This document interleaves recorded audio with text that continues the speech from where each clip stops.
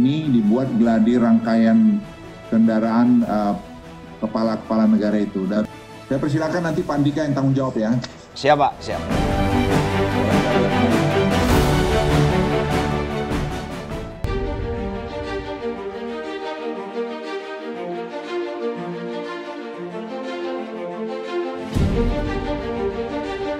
Panglima TNI mengikuti rapat koordinasi yang dipimpin oleh Menko Maritim dan Investasi terkait persiapan penyelenggaraan konferensi tingkat tinggi G20. Sesuai dengan arahan Presiden Joko Widodo, ada beberapa hal yang menjadi sorotan mulai dari susunan acara hingga lokasi kegiatan.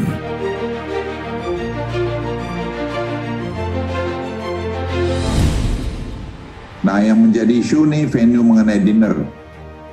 Uh, tempat sangat ekstravagan, bagus banget ini. Tapi dari aspek security, uh, saya pikir itu akan jadi isu.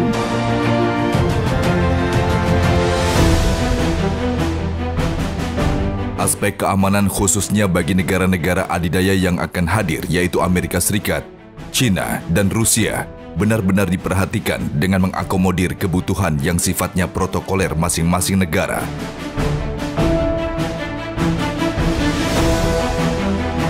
Jadi pada saat saya melakukan peninjauan ke mangrove Tahura, Pak, itu yang rawan adalah jalan masuk yang jalan tanah.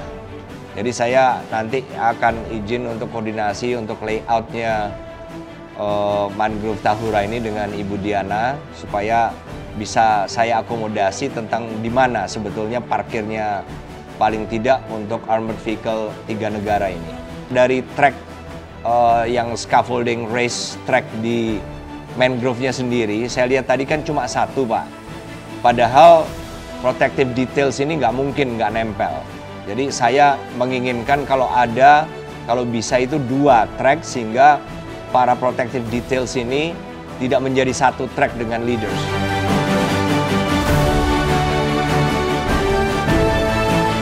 Jadi nanti coba dibikin satu gladi sebelum presiden ke sana. Jadi saran saya akhir bulan ini dibuat gladi rangkaian kendaraan uh, kepala-kepala negara itu. Dan kita mau jadi tuan rumah yang baik, tapi sekaligus juga tidak mengganggu kenyamanan ya. Saya persilakan nanti Pak Andika yang tanggung jawab ya. Siap Pak, siap.